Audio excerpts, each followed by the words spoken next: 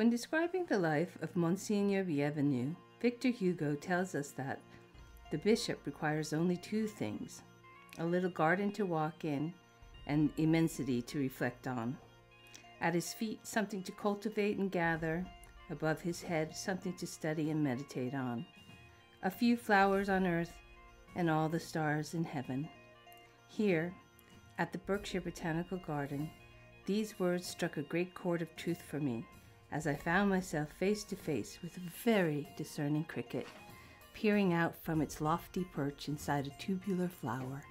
It immediately occurred to me that here in the botanical world, the flowers had a language of their own, and the dazzling escapades of hidden and not so hidden creatures communicated a perfect reflection of much of what makes us human. In hopes of articulating a floral specimen's singular and very brief yet epic tale that I happen upon, I take the inspiration of the moment, the color, the position of the flower. I study the ecosystem that surrounds it. I research its folklore and medicinal properties. And it is there that I begin to paint or sculpt a floral portrait. My work strives to translate the biota's essence into a nouveau Victorian floriography or hanakotoba, a language meant to convey emotions and communicate directly to the viewer without using words.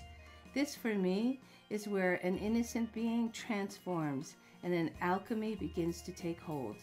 The tools I use in my visual expression of the floral culture are watercolor, graphite, color pencil, hand pressed paper, kiln cast glass, and pâte de verre. In doing so, I hope the work excites and inspires its audience to rediscover the efflorescing beauty already around them, giving the viewer an even more profound sense of wonder and appreciation for the boundless universe found even in the tiniest of gardens.